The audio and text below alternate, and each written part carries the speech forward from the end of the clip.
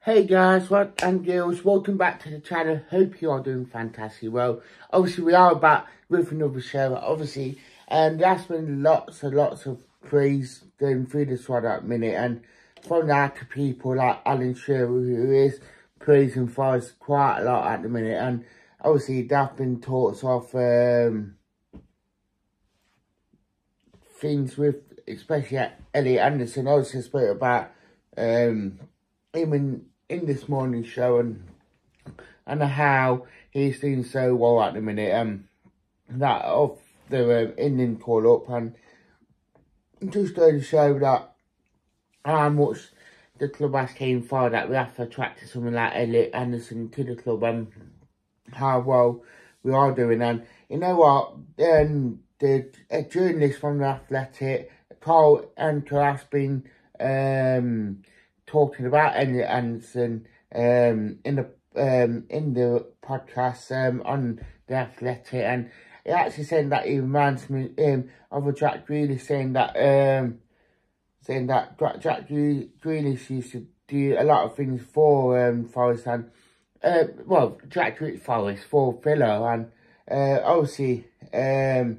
when you look at Anderson's performances at the minute, that's been top notch. And um, obviously Grealish, when he used to be in Villa days, that used to run plays like he used to, um,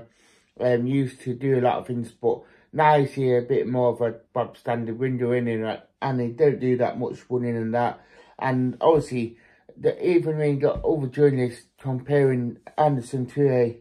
um, Jack Grealish of your race, Jack Grealish race now with all these cup wins and that, it got give him some confidence, and especially when he's coming into that number 10 ball. I mean, if Anderson wouldn't have started like he did um, against um, Palace last week, and I think that if I had a pretty much Bob standard game, I reckon that they would have tried and mushed um, this right back. But obviously, he weren't in training today, and obviously, we're not needing him the last two games, which it comes to show as a big, big um, boost. And I will get on to another thing later on in the show, but obviously, when you hear things of like pundits talking so highly of us now, it just goes to show how far we have came as a club and how far that the club can, can go. And uh, I know I know I spoke about stats and all that as well. Well, when I said about Anthony morning I meant last night's show. Um,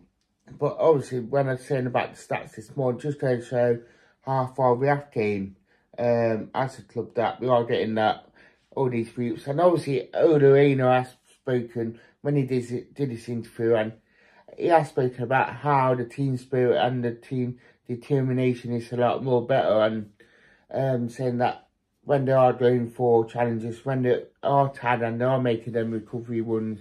they're doing it because they're fighting for each other and they've got that team spirit. And does show how much it has came over the last season, the last few months, because obviously we got rid of quite a lot of old players, all players that didn't fit in, or we got rid of quite a lot of people that needed to leave the club, and that it is great to see that um, we have got a smaller squad now, and that it is showing that we can um,